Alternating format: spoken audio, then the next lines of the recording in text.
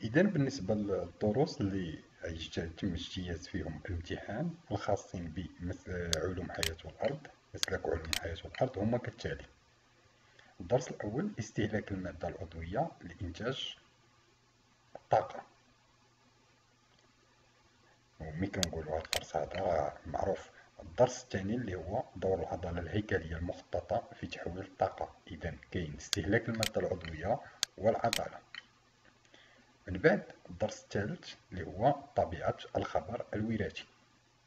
l'ADN. وهلم جرا يعني راه معروف الدرس ديال طبيعة الخبر الوراثي. أما الدرس الرابع فهو تعبير الخبر الوراثي. ال ARN messager الأحماض الأمينية وإلى آخره.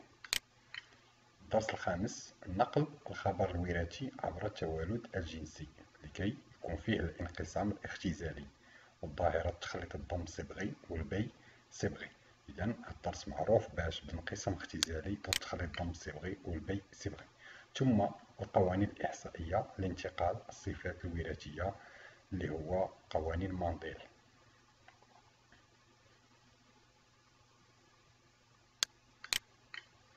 من بعد كنشوفو الدرس اللي الهندسة الوراثية ومبادئها وتقنياتها يعني نتعرفوا على تقنيات الهندسة الوراثية والمجالات اللي كتستعمل فيها.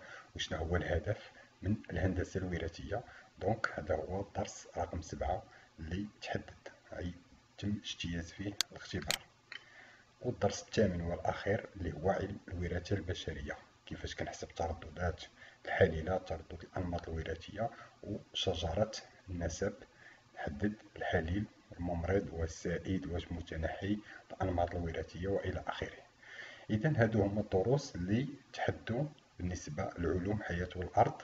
مادة شعبة علوم حياة الأرض مادة علوم حياة والأرض.